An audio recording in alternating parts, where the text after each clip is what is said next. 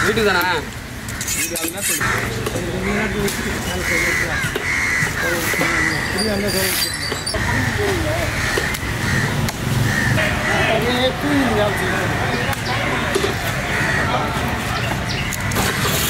எப்படி ஒரு வேலை செய்யணும் ஒரு நிமிஷம் தான் ஒரு மாதம்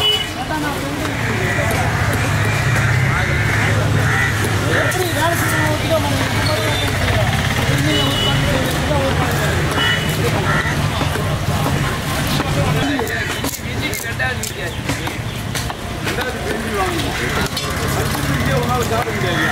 சொன்னா அவன்